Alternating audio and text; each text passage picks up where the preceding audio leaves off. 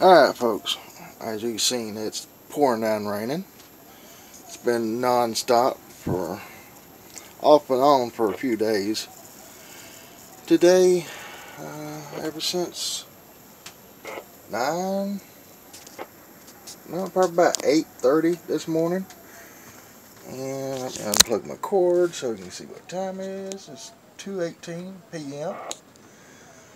Uh, charging my solar, well, ain't no solar charging, I'm actually charging right here, comes up over here, and all this here, making sure my batteries are topped off just in case electric goes off. Got the radios on, and main radio here, digital, these two are analog, and uh, as you can see, this blue dot right here, if you can see it, is where I'm at. And there, yeah, you can see a lot that just went through. Folks, it needs to stop raining. I'm ready for some sunshine.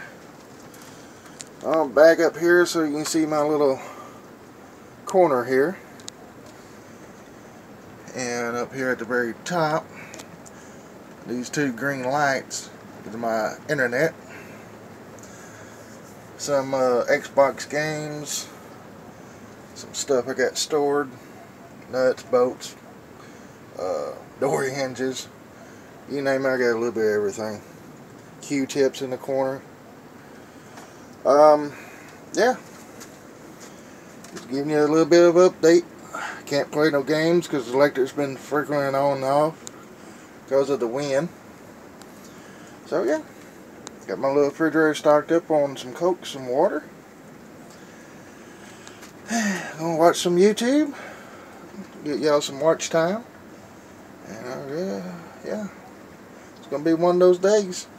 But in all in all, we got to have some pos uh, some positive energy, folks. We gotta think positive.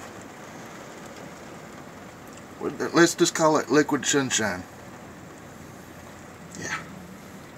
Lots of it. Y'all have a great day, a blessed day. And I will see y'all in a couple days. I can't record like this because, like I said, like they're not swinging now. But I go, power lines are going crazy. But yeah, y'all have a great day, a blessed day. And I might see y'all in a couple days on Farming Simulator 19. Later, folks.